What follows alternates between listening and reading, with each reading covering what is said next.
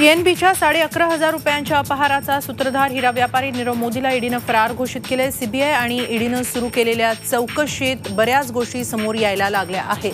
नीरव मोदीच्या सर्व कार्यालय आणि दुकानांवर धाडी पडल्या आहेत. एकूण नऊ ठिकाणी ईडीचे छापे पडले आहेत. मुंबईत चार दिल्लीमध्ये दोन आणि सुरतमध्ये तीन ठिकाणी ही कारवाई करण्यात आली आहे.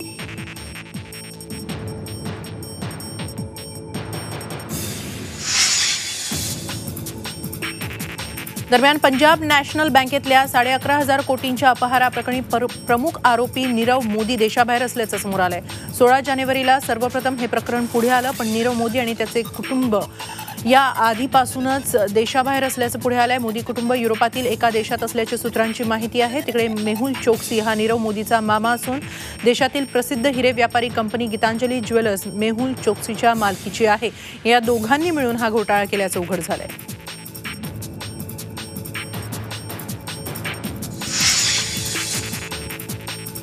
पंजाब नॅशनल बँकेच्या मुंबईतील फोर्ट शाखेतून अकरा हजार पाचशे कोटींचा अपहार उघड झाला.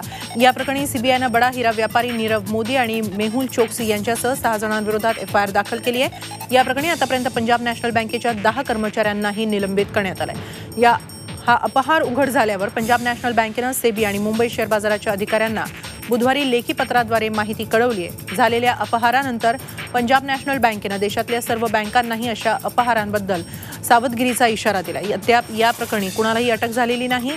घोटाळ्याच्या बातमीनंतर पंजाब नॅशनल बँकेच्या शेअर्समध्ये मोठी पडझड झाली. काल आणि आज मिळून एकूण अठरा टक्क्यांची घसरण झाली. कोर बँकिंग सोल्युशनचा प्लॅटफॉर्म न वापरता स्विफ्टनेच पैसे पाठवले आणि त्या ठिकाणी पासवर्ड जे वापरले गेले ते दोन दोन तीन तीन माणसांचे पासवर्ड म्हणजे मेकर आणि चेकरचे पासवर्ड एकाच माणसाने वापरलेले आहेत. आणि म्हणून हे स्विफ्टमध्ये शेकडो कोटी नव्हे अकरा हजार पाचशे कोटी गेलेत. आणि म्हणून हा देशातला सर्वात मोठा फ्रॉडचा व्यवहार आहे. आणि हा वरती कळू का शकला नाही कारण तो कोर बँकिंग सोल्युशन निगडीत नव्हता.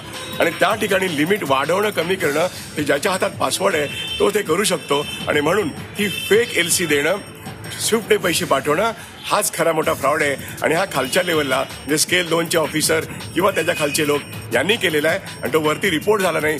पण मग प्रश्न येतो की रिझर्व्ह बँक ऑफ इंडियाचं इन्स्पेक्शन वारंवार होत असतं. आणि मिड कॉर्पोरेट किंवा कॉर्पोरेट फायनान्स सारख्या ब्रँचमध्ये हे अधिक दक्ष असलं पाहिजे. तर रिझर्व्ह बँक ऑफ इंडियाचे मोठे अधिकारी इन्स्पेक्शन हे काय करतात हा प्रश्नचिन्ह आहे. नीरव मोदीनं अपहार केल्याप्रकरणी पंजाब नॅशनल बँकेनं पत्रकार परिषद घेऊन खुलासा केलाय. पंजाब नॅशनल बँकेनंच मोदीचा अपहार उघडकीस आणला असल्याचा दावा व्यवस्थापकीय संचालक सुनील मेहता यांनी केलाय. या अपहाराची बँकेनं चौकशी करून ईडी आणि सीबीआयला कळवून गुन्हे दाखल केल्याची माहितीही पीएनबीनं दिली आहे पंजाब नॅशनल बँक आर्थिक संकटात नसल्याचा खुलासाही पत्रकार परिषदेत करण्यात पीएनबी अपनी क्लीन बैंकिंग के लिए कमिटेड है. शायद इसीलिए we are the first one to detect and report this to the various law enforcement agencies जैसे ही हमें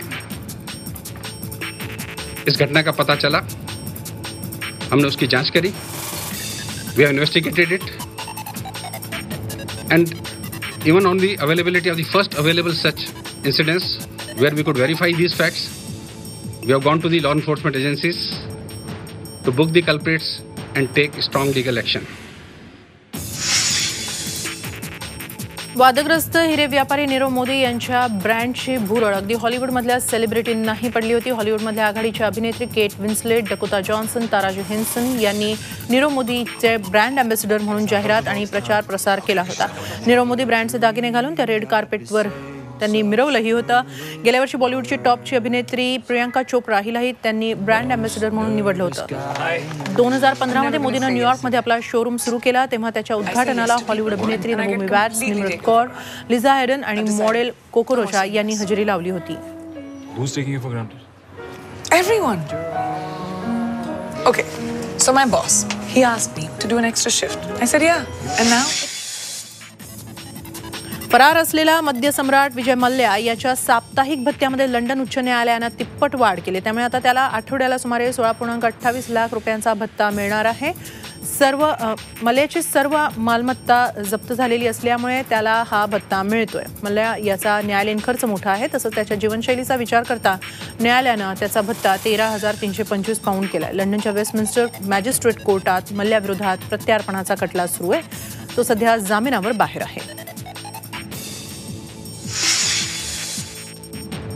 शेतीसाठी दिवसभर वीज देऊ शकत नाही फक्त रात्रीचीच वीज देता येऊ शकते अशी जाहीर कबुली मुख्यमंत्री देवेंद्र फडणवीस यांनी दिली आहे.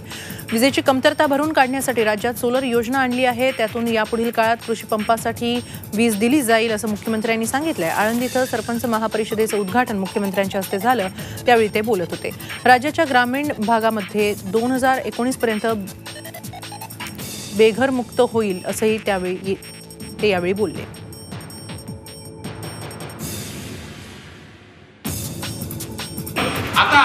जे काही पंप आहेत शेतीतले. आता हे शेती पंप जे आहेत आपण त्याला काही बाराही महिने चोवीसही तास काही वीज देऊ शकत नाही किंवा दिवसा वीज देऊ शकत नाही. रात्री वीज आपण अनेक वेळा देतो. त्यातनं शेतकऱ्याला खूप त्रास सहन करावा लागतो. पण आता आपण हा निर्णय केला की आपल्या इथे आपले जे फिडर आहेत तिथे फिडर सेपरेशन झालं आहे तिथलं सगळं जे फिडर आहे आपल्या ॲग्रिकल्चरचं हे सोलरवर आपण टाकतोय. पाचशे मेगावॅटचे आपले टेंडर निघाले. आहेत पहिलं काम आपलं राळेगण सिद्धीला पूर्ण होणार आहे. आणि त्या ठिकाणची सगळी पंपही सोलापूर त्या ठिकाणी सुरू होणार आहे. त्या माध्यमातून आपण दिवसा बारा तास अगदी अखंडित अशा प्रकारची वीज ही त्या ठिकाणी देऊ शकणार आहोत. गारपिटीनं नुकसान झालेल्या पिकांचे पंचनामे करण्यास उशीर होत असून पिकांच्या नुकसानीचं गांभीर्य निघून जात आहे त्यामुळे पिकांच्या नुकसानीचं ड्रोन कॅमेऱ्याने किंवा सॅटेलाईटनं तातडीनं पंचनामे करा अशी मागणी काँग्रेस प्रदेश अध्यक्ष अशोक चव्हाण यांनी केली आहे. जालना दौऱ्यावर असताना अशोक चव्हाण यांनी पत्रकारांसमोर ही प्रतिक्रिया व्यक्त केली. शेतकऱ्यांसाठी हेक्टरी सरकारनं जाहीर केलेली रक्कम अल्प असून हेक्टरी किमान पन्नास हजार रुपये तरी मिळालीच पाहिजेत अशीही मागणी त्यांनी केली. अशोक चव्हाण विधानसभेचे विरोधी पक्षनेते राधाकृष्ण विखे पाटील आणि काँग्रेसचे माजी प्रदेशाध्यक्ष माणिकराव ठाकरे यांनी आज जालना जिल्ह्यातील वंजार उमरत येथील गारपिटीनं मृत्युमुखी पडलेल्या नामदेव शिंदे यांच्या कुटुंबियांची भेट घेत सांत्वन केलं. यावेळी शिंदे यांच्या कुटुंबियांना एक लाख रुपये मदत करण्याची चव्हाण यांनी घोषणा करत गावकऱ्यांशी संवाद साधला.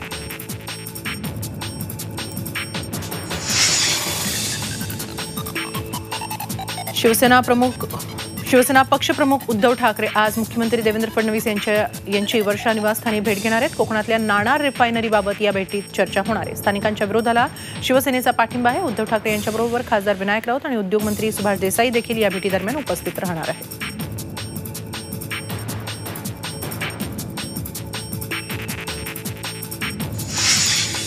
मनसेतून शिवसेनेत गेलेले सहा नगरसेवक आज अधिकृतरित्या सत्ताधारी बाकांवर बसले. त्यामुळे शिवसेनेचे सर्व नगरसेवक भगवे फेटे घालून पालिकेत आले. मनपात शिवसेनेची सत्ता स्थिर झाल्याचा जल्लोष करण्यात आला. कोकण विभागीय आयुक्तांकडे पक्षांतर प्रकरणात सुनावणी सुरू असल्यापासून मनसेचे हे नगरसेवक सभागृहात उपस्थित राहत नव्हते. ते आज सभागृहात प्रकट झाले.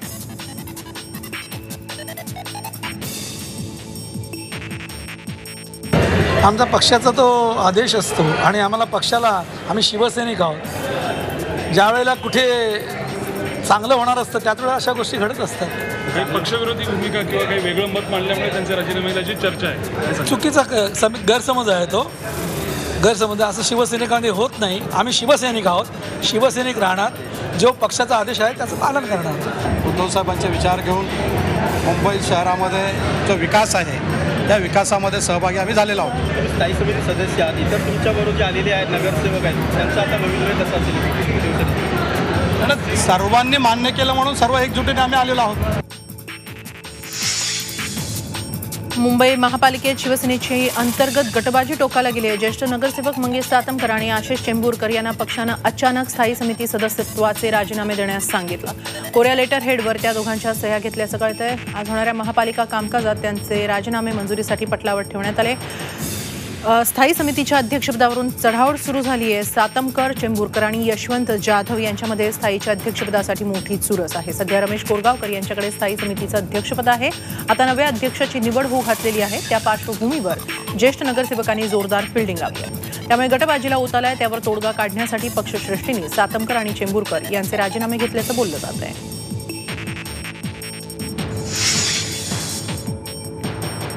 कोल्हापूर महानगरपालिकेत भाजप ताराराणी आघाडीनं सत्ताधारी राष्ट्रवादी पक्षाचे दोन नगरसेवक फोडल्यामुळे राष्ट्रवादीचे कार्यकर्ते चांगलेच आक्रमक झालेत. कोल्हापूर महानगरपालिकेच्या स्थायी समिती सभापती निवडीमध्ये राष्ट्रवादीचे नगरसेवक अजिंक्य चव्हाण आणि अफजल पिरजादे यांनी भाजप उमेदवाराच्या बाजूंनी मतदान केलं. त्यामुळे स्थायी समिती सभापतीपदी भाजपच्या उमेदवाराची निवड झाली. त्यामुळे राष्ट्रवादीच्या कार्यकर्त्यांनी या दोघांविरोधात आंदोलन सुरू केलं. या आंदोलनाचाच एक भाग म्हणून राष्ट्रवादीचे नगरसेवक अजिंक्य चव्हाण यांच्या घराच्या परिसरात राष्ट्रवादीच्या कार्यकर्त्यांनी जोरदार आंदोलन केलं. या दरम्यान राष्ट्रवादीचे कार्यकर्ते आणि नगरसेवक अजिंक्य चव्हाण यांचे कार्यकर्ते समोरासमोर आल्यानं काही काळ तणाव निर्माण झाला होता. मात्र पोलिसांनी नगरसेवक अजिंक्य चव्हाण यांच्या घरापर्यंत राष्ट्रवादीच्या आंदोलकांना पोहोचू दिलं नाही. त्याचबरोबर आक्रमक राष्ट्रवादीच्या कार्यकर्त्यांना ताब्यात घेतलं. तोपर्यंत नगरसेवक अजिंक्य चव्हाण आणि अफजल पिरजाते हे आपल्या नगरसेवक पदाचा राजीनामा देणार नाहीत. तोपर्यंत आमचं आंदोलन सुरूच राहील असा इशारा राष्ट्रवादीच्या कार्यकर्त्यांनी दिला आहे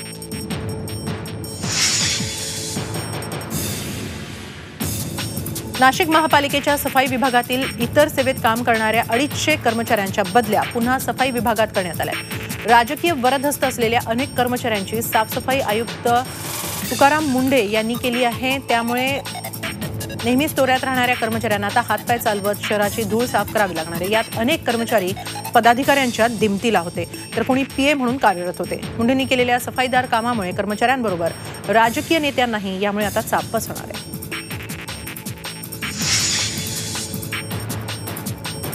नाशिक शहरात भारतीय विद्यार्थी सेनेच्या वतीनं गाजर डे साजरा करण्यात आला. भाजप सरकारचा निषेध म्हणून गाजर डे विद्यार्थी सेनेनं साजरा केला. भाजप सरकारनं आश्वासन रूपी गाजर जनतेला दिलंय असा आरोप यावेळी भारतीय विद्यार्थी सेनेनं केला. भाजप विरोधात यावेळी जोरदार घोषणाबाजी करण्यात आली. धुळ्यामध्ये भाजप नेते एकनाथ खडसे यांनी रिक्षात सफर केली. अन्यायाविरोधातल्या आक्रोशाबाबत ही सफर होती. खानदेशात एकनाथ खडसेंना मंत्रिमंडळात घेतलं जात नाही म्हणून आक्रोश वाढत चाललाय त्याचाच प्रत्यय धुळ्यामध्ये पाहायला मिळाला. अमळनेरच्या कैलास चौधरी या भाजप कार्यकर्त्यानं आपल्या रिक्षावर एकनाथ खडसे यांचा फोटो लावून अन्याय हा शब्द लिहिला. या रिक्षात बसून खडसे यांनी अन्यायाविरोधातील आक्रोशाला मुकसंमती दिल्यानं राजकीय चर्चा चांगलीच रंगली आहे.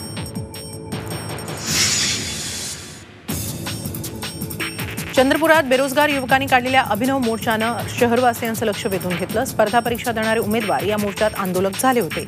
या मोर्चेकऱ्यांनी सरकार विरोधात घोषणा देत शहर दणाणून सोडलं. चंद्रपूर जिल्हाधिकारी कार्यालयावर मोर्चा काढून बेरोजगारांनी शासनाचा निषेध केला. रस्त्यावर बांगड्या विकणारे डिग्री घेऊन भजी तळणारे या आणि इतर प्रकारे यावेळी आंदोलन करण्यात आलं. सरळ सेवा भरती नियमित करा. परीक्षा शुल्क कमी व्हावं. प्रमुख परीक्षा विभागीय मुख्यालयात घेण्यात यावी. या आणि इतर मागण्या यावेळी करण्यात आल्या. गेली काही वर्ष आर्थिक संकटाचं कारण पुढे करत सरकार नोकर भरतीची प्रक्रिया संथपणे राबवत आहे. यंदाचं वर्षही त्याला अपवाद नाही. संपूर्ण राज्यात कंत्राटीकरणाचं धोरण राबवून वेगवेगळ्या पद्धतीची पिढी घडवण्याचे प्रयत्न सुरू आहेत. शासकीय नोकरीसाठी आपल्या आयुष्याची मोलाची वर्ष खर्च घालणाऱ्या स्पर्धा परीक्षा इच्छुक उमेदवारांच्या पदरी यामुळे निराशा पडते. त्याचा निषेध यावेळी करण्यात आला.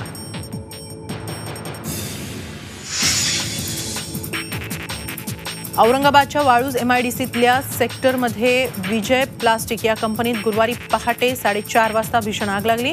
या आगीत कंपनीच्या कामगारांच्या कामगाराच्या वडिलांचा होरपळून मृत्यू झाला. श्रीराम जयराम ठाकरे असं त्यांचं नाव असून ते पासष्ट वर्षांचे होते. कंपनी परिसरातच काही कामगार कुटुंब राहतात.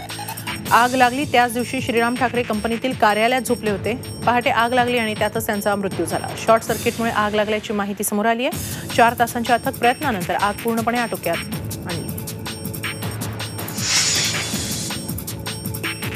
मुंबईतील अंधेरीत मित्तल इस्टेट इमारतीतील गोदामाला रात्री उशिरा आग लागली. या आगीत होरपळून एकाचा मृत्यू झाल्याची दुर्दैवी घटना घडली. अग्निशमन दलाच्या जवानांनी आग विझवली असून आगीचं कारण अद्याप अस्पष्ट आहे.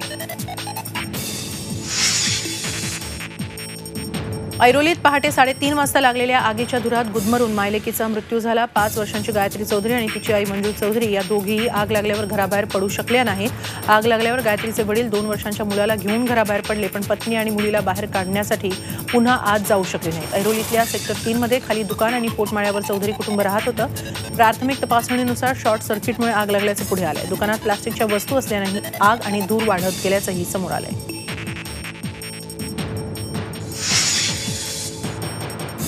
मुंबई अहमदाबाद राष्ट्रीय महामार्गावर चिंचपाडा इथं कंटेनर आणि टेम्पोमध्ये भीषण अपघात झाला या अपघातात दोघांचा जागीच मृत्यू झाला गुजरातकडे जाणारा कंटेनर विरुद्ध लेनवर जाऊन मुंबईकडे जात असलेल्या टेम्पोवर धडकल्यानं हा अपघात झाला.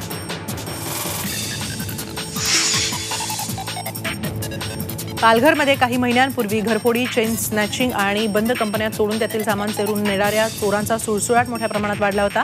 या प्रकरणाचा छडा लावण्यासाठी पालघर पोलिसांनी कंबर कसली? पालघर पोलिसांची गेल्या आठ दिवसात पाच गुन्ह्यांची उकल करण्यात त्यांना यश आलं असून दोन चोरांना अटकही केली आहे. रायगड जिल्ह्याच्या पेण तालुक्यातील बाळगंगा धरण प्रकल्पग्रस्तांनी पुन्हा एकदा आंदोलनाचा हत्यार उपसले सिडकोच्या मालकीच्या या धरणाचं काम ऐंशी टक्के पूर्ण झालेलं असताना प्रकल्प बाधित नऊ वाड्या आणि तेरा गावांतून विस्थापित होणाऱ्या कुटुंबांचं कोणत्याही प्रकारे पुनर्वसन झालेलं नाही.